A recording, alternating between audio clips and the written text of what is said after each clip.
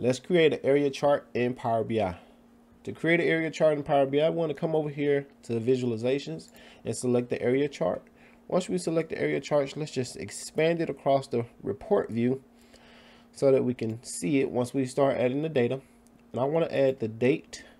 I want to add the sales and I also want to add the region. And we can see some similarities here. So the area chart is very similar to the line chart. Now the difference between a line chart and an area chart is the area chart is going to shade up underneath the line, whereas on a line chart you just get the line. So that is what an area chart is. Now we can kind of drill down to really see it's in its form when we go deep into the data.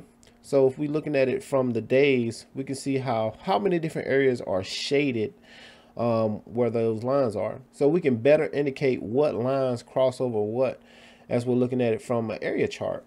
Now to make some of those format changes in the area chart, we know that we can move the legend around, get rid of the legend.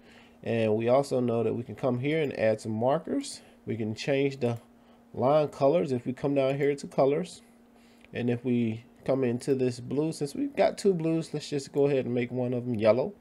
So we'll see that that changes.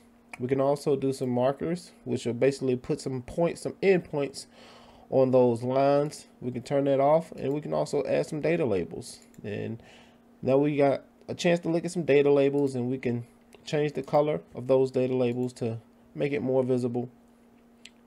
And now you should know how to create an area chart in Power BI. Thanks for watching.